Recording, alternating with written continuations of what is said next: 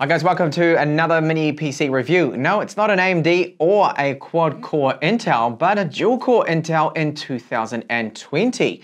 Chuwi thought it would be a good idea to sell a 5th gen. No, I didn't make a mistake, 5th gen. This is a CPU that's in this that was released in September 2014. It is the Core i5, the 5257U. It does have Iris graphics, the 6100. And as you see in this particular review, it is, well, it has a lot of shortcomings, this particular mini PC. Sure, it might sell for 250 US dollars with RAM, with an SSD, and you're ready to go with Windows 10 as the operating system. But there are quite a few things you should definitely be aware of before you consider getting such dated hardware. And there's also a few misleading things from Chuwi as well. So here's what you'll find in the box. So we've got some screws here for the 2.5 inch hard drive to mount it inside. We have our SATA 3 cable there, and this is an EU plug, obviously. With that standard connector, very easy to source a replacement. And a power supply, so this is 48 watts maximum output, and that is 12 volts and 4 amps. So this is the front of the mini PC. It's got a design that looks a little bit like a PC tower case, but just in miniature, which I do like. We have a front power on button here. Sadly, there's no Type-C on the front, no Type-C whatsoever on this. I would have liked to have seen two USB 2 ports on the front of this at least. I think would have been good. So they claim on their site that the build of this is a metal case. And well, it's not, it's mostly all plastic. So this part here is plastic. The lid is where you will find some alloy. So they put this metal on the top here, just this metal plate. Now you can unscrew this and underneath is plastic, so don't even go there, don't bother, you're just wasting your time. Core i5 sticker there from Intel, Chuwi is there, and this part here is all plastic. Now on the underside, you will see right here that we do have some intake vents. So they're using this case over various different mini PCs from them. Some nice solid rubber feet here as well. Now they do have a tamper sticker here, which is kind of silly really, because we do need to get inside to install a 2.5 inch drive. So you remove the four screws on the back, or in fact just loosen them off and then the case will lift off like so. So you can see there is our cooler and here on the back is where you would install your 2.5 inch drive. So using the screws supplied, of course, you screw it in there and then you plug it into the motherboard. So here you will find our SSD. So this one is an M.2 SATA 3 2280 in size. And you can just make out where our heatsink assembly is. I'll give you another shot of that shortly. So you can just see this chip here on the motherboard. That is our 8 gigabytes. That single chip is 8 gigabytes of DDR3 RAM. So, of course, it's not going to be in dual channel, just being a single chip there. You can see they do have space on the motherboard there that if they were going to add another 8 gigabytes here, that would then give us, of course, 16. But it would have been nice if Chuwi at least had put two 4 gigabit chips in here, gigabyte chips in there, sorry. So we could actually have dual channel there. So that is a disappointment. Now there is no upgrades with this particular model here. Nothing apart from adding that 2.5 inch drive or swapping out and using another SATA 3. Now this slot will actually fit in an NVMe drive, but it doesn't work.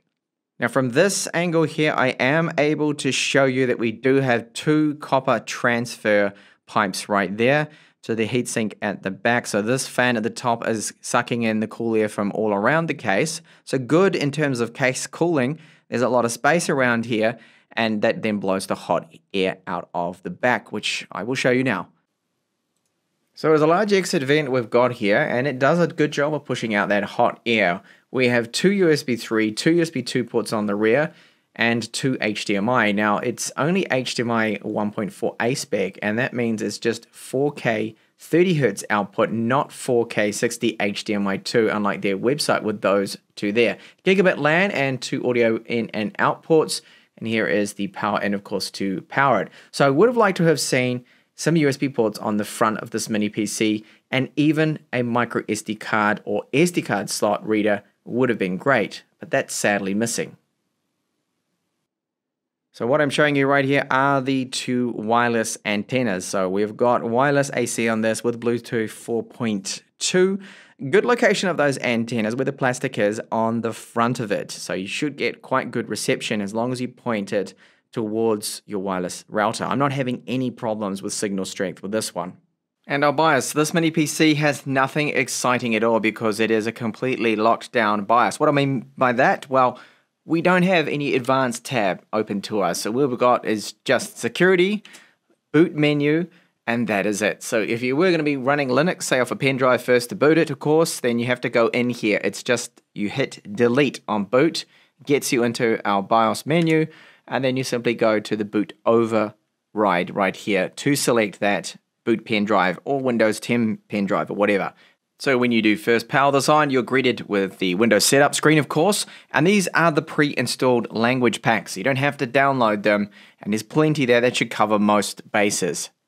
Okay, so here we are in Windows. I wanted to point out that yes, it is running Windows 10 Home, so it's not Pro version. Didn't expect it. You wouldn't either for this price point. And the version is 1909. So yes, do run Windows 10 updates just to get the latest version. I also do recommend that you jump onto Intel's site and run the driver update utility. That will give us the latest uh, driver there for the Iris graphics that this uh, one has. So in the memory here configuration, as I showed you, it's just a single chip there, so 100% just single channel, unfortunately. 1600 megahertz DDR three. I mean, this is a dated spec. We're talking about a CPU here that's five generations old now that they are using. Even though it does have Iris graphics, it still would have been great to see the RAM configured in dual channel. They could have gone with maybe two four gigabyte chips on there. So we have about 100 uh, megabytes of the RAM is dedicated to that uh, GPU, but of course it is shared with the system RAM, so that will fluctuate that percentage there. Looking in the device manager, so there you see the Core i5 5257U maximum turbo is uh, 3.1 gigahertz. Very low now for 2020 standards. And it's only dual core. Uh, and it's kind of incredible that I'm looking at a dual core, a little mini PC desktop one, when most of them, all of them ones I look at now, at least quad core here. But it does have the four threads. So the wireless card is the dual band AC3165. This is very common. So transfer speeds with my router, this will vary a little bit. You're looking at about 340 realistically megabits per second. We do have real tech gigabit LAN that I also showed you when you had a look. We had a look at the back there. And here is our drive. So it's a NETAC. And this one, the speeds, benchmarked it here with nothing going on in the background. Uh, that's fine. Okay, for SATA 3, the write speeds are maybe a little bit low compared to, say, a, a Samsung or Kingston or other brand. Um, but overall, that's not too bad considering the spec of this now, it kind of would be pointless to have an NVMe drive in this. Okay, so with this particular CPU, you can install Intel's Extreme Tuning utility, but you cannot increase our power limits, okay? So power limit level 1, 28, level 2 is 35, that's just the short boost. Cannot really do anything here. Now you can undervolt if you wanted to, to help maybe the thermals, but really it makes no difference, and thermals are excellent. It is super hard, very hard in fact, to get this to go over, say, 65 or to 70 degrees. So it runs very cool all the time. And later on, I'll tell you about the fan noise, but when it's idle, it is very, very quiet. You can't actually hear it. So they've done a pretty good job with the cooling there, Chuwi. So let's have a look at some benchmarks. Geekbench 4 score nothing amazing, especially in 2020. You've got to remember that this particular CPU, it came out in September 2014. It's only a dual core, so that's why the multi-core score is a bit low, and it's just 3.1 on the turbo there. So that's why this score is really uh, nothing amazing there. Now the Open CL scores, you can actually one thing you can do is increase the clocks. So what I did is a tiny little bit of a tweak here. So when you go into graphics, it's by default our multiplier here just 10.5, but we can increase it to 11.5, and that is times 1000 megahertz. So we can get it over to about 1.15 or so gigahertz on the, the clock there. It does have one gigabyte of RAM allocated, well, dedicated uh, with this Iris graphics as well. So that was the overclock score. That is the default, the 3384. Not too much of a difference, but I mean, that's something at least we can do to squeeze out a tiny bit of extra power for nothing.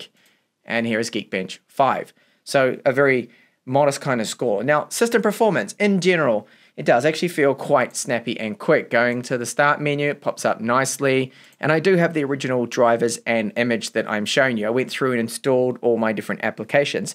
However, one thing I didn't bother with, and that is Adobe Premiere Pro. I won't show you that because editing on a on such a chip like this, even though okay, it's got the Iris graphics, is very choppy and the playback's choppy, and it's just not recommended for 4K video editing. So Cinebench, I did test these ones out. So Cinebench R15 here first. A very low score as expected for only two cores, four threads, 278, and then R20. So that's 545 points there. Again, yes, low, very low, uh, especially compared to some of the other mini PCs I have been reviewing. The AMDs that have quad cores, eight threads, can do a bit better there. And even that last 10th gen Intel that I did review was quite good. Now, when you have a look at document performance, so spreadsheets and things like that, this general kind of light computing is what this is perfectly fine at. It's not actually bad at all. So maybe you see a little bit of slowdown sometimes with a very large document file doing some edits, selecting, copying, pasting, but really you should not uh, have any issues issues with this at all. So typing there, that's not going to be a problem. No real lag there with the spreadsheets as well. So all the benchmarks I did show you, I ran them, of course, just by themselves. So there's nothing that's going to affect the performance. What about media file playback? So video playback, not its strength, of course, because we don't have hardware native HEVC decoding with this, and we don't have VP9 decoding. So playing a jellyfish file here, the sample files, is 10-bit HEVC. Uh, very poor performance here. It will always be like this, just a little bit stuttery all the time. It's just dropping frames like crazy.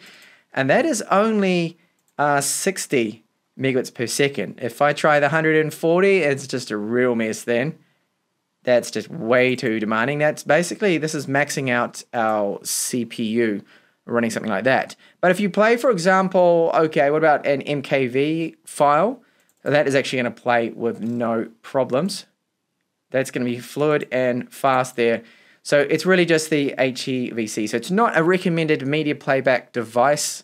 Unfortunately, this one. I mean, if it did have a more modern 8th gen CPU, we would have that hardware decoding and it would perform there a lot better than it currently is. So I'll quickly bring you bring up here information from HWiNFO just to show you that uh, RAM. Okay, there's thermals there too. Excellent. You can see it's 64s being the max but we'll look at that later on. Oh, I just minimized the whole thing. Uh, the RAM, however, that is, uh, when I take a look at it here, definitely is single channel. Okay, need to get this out of the way. Just close that off. You can see right there that it's definitely single channel. That just that chip that I showed you in the beginning, having look at the internals. However, Chuwi advertise it as, as having dual channel RAM, and it doesn't. But let's have a look now at just one game I'm going to test out. That is Counter Strike Global Offensive and we'll see how the gaming performance is with this Iris graphics with its one gigabyte there of RAM. So this is 720p. It is on the lowest settings, and we're getting about, look at this, 40 frames per second or so. This is not brilliant. It is, okay, it is playable, but the Vega 8 graphics in that Ryzen 5, the 2500U I reviewed, for example, that costs about what 30, maybe 40 US dollars more is so much better than this and can run the game in 20, 1080p playable frame rate at least as well. Let's see if I can actually kill this guy. Nah, he managed to get me. But yeah, not really that brilliant for gaming. I mean, the Iris, the 6100 is a very dated GPU. I mean, this this chipset came out in September 2014. Now power use with this one, I am seeing an idle of about 7 to 8 watts, which is not bad. So right now gaming and Counter-Strike is where you will see about 37, 36 watts maximum use from the wall. Fan noise, it's not bad when it is idle, it is very quiet. When you're gaming or doing something demanding, that is when you'll hear the fan. But the cooling is excellent on this mini PC. I mean, it doesn't go over 65 degrees Celsius, but here's a sample of the fan at full load.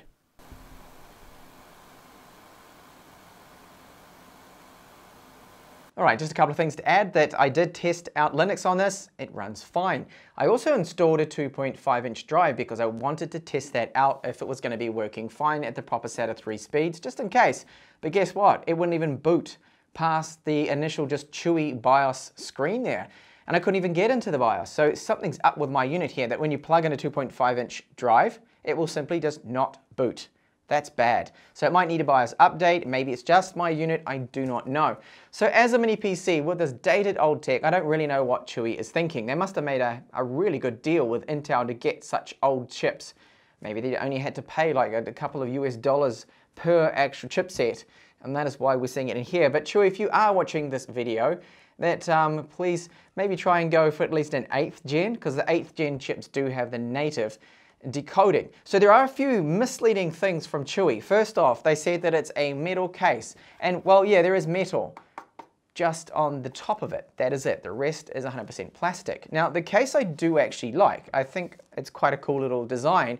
And the cooling in this is very, very good. I like the fact it looks like a little mini desktop and the thermals are absolutely excellent. Really good. It's only got the two cores on this and that is probably helping. So it will not go over my testing over 65 degrees Celsius. I mean, I could push it all day and it just will simply not go over that with ambient 26, 25 degree temperatures.